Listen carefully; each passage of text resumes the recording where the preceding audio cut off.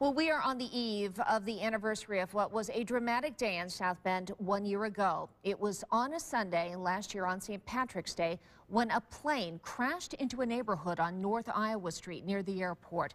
That disaster prompted evacuations. Two people on board the plane died, and people on the ground were injured. And on Iowa Street, life hasn't been the same since. WSBT's Ed Ernsting has more. Several of the homes that were damaged in the plane crash have since been demolished and removed.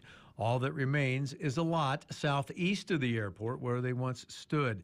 But memories of that day on St. Patrick's Day remain for those who live here, such as Tanisha Henry, who lives just a couple doors down from the crash scene. She vividly remembers when police fanned out through the neighborhood asking homeowners to evacuate after the crash. It was a scary moment during that time. The police officer knocked on my door and um, asked that I evacuate um, my house. And that, during that time, I was seven months pregnant, so you could imagine how that was. For some here in the neighborhood who were at home at the time that it happened, it doesn't seem like it's been a year since it took place. They're still trying to process all they heard, saw, and experienced that day. It seemed like it's been a year? No, not at all. It doesn't feel like it's been a year. Like I hadn't even realized it had been that long. It's hard to believe it's been a year, um, but each time you drive up and down Ryer, or Iowa Street, you know, it's right there. I think the significance of it being on St. Patrick's Day, it's something that you'll never forget that date because it is St. Patrick's Day.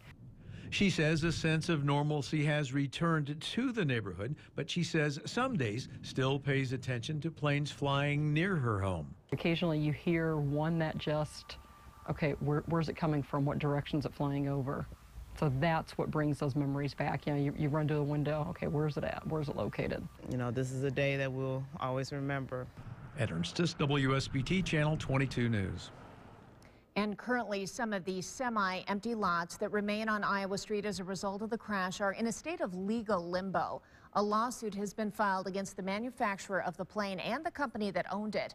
The first to file were the two men on board that plane who survived, but who still suffer from their injuries. And meantime, the NTSB still has not finished its investigation into the crash.